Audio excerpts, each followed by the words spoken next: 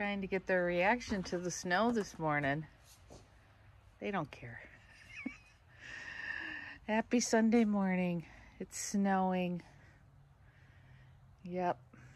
It's snowing and it's sticking. I think we're supposed to get one to two inches, I believe. And I never cleaned up the leaves. Never cleaned up the leaves yet. So I guess those are going to have to wait. Unless it doesn't snow as much as they say. I can blow them with the snow on them. Who cares? Who cares? Yep. But our first really official snow. It was spitting snow that one time in my video, but it never stuck. Now it's sticking. We'll check in later. Look at Grant.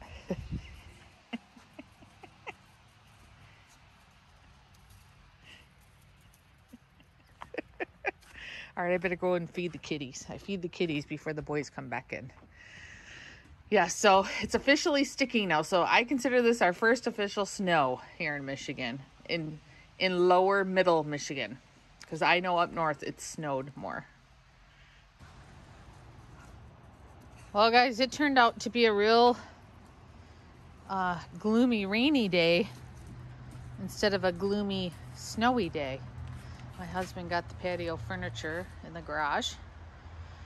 So no more furniture out here for you boys.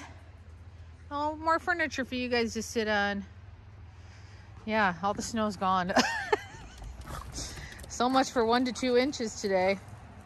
It's about, uh, it's almost four o'clock. And uh, yeah, it's just raining. It's just raining, isn't it? Yes. A lot of people were wondering these bushes here, what they were. Um, if you remember in the summer, they were green. And then in the fall, they turn this pretty red. And they're called burning bush.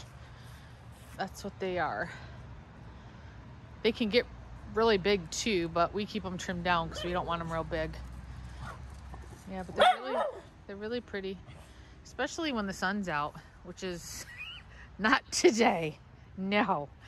All right, I gotta look for the landmine. Gotta come out earlier now. Uh, since it gets dark so fast. And I'm not used to it still. And if I don't get out here um, before 5 o'clock, I'll forget. And then all of a sudden, it's dark. yeah, got the chairs out from by the fireplace. I really need to fix that tarp to cover up the wood better. But it's sprinkling right now, so I'm going to hurry up and get my job done go back in the house. Yes, it's a very dreary day today and really haven't wanted to do much. No, still, the leaves are still on the ground. They're really wet right now, so I probably should wait till they dry up a little to to blow them into the corner. So, what are you looking at over there, Milo? What do you smell? What do you smell under there?